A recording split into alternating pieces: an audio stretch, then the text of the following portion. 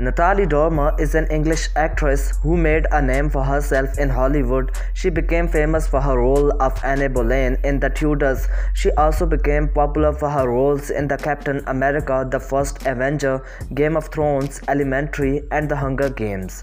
Although she is a private person, her career in the entertainment industry has been quite diverse and sometimes controversial. She continues to choose interesting projects both on stage and in films. One of her latest projects is Picnic at Hanging Rock, a mini-series based on an Australian novel by Joan Lindsay. She is also a feminist and is associated with many charitable activities. Natalie Dormer was born on February 11, 1982 in Berkshire, England. Her mother Claire Richard is a housewife and her father Gary Dormer was a computer programmer and is now retired. Natalie has a brother Mark and a sister Samantha. During her childhood, she was interested in many activities such as dancing, fencing, and public speaking.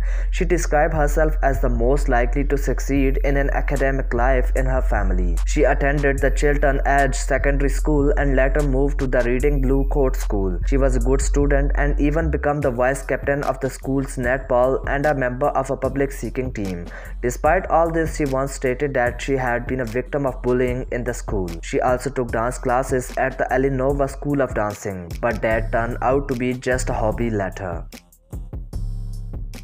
If we talk about physical states and more, these are height 5 feet 6 inches, weight 56 kg, bust size 34 inches, waist size 25 inches, hip size 35 inches, eye color blue, hair color blonde.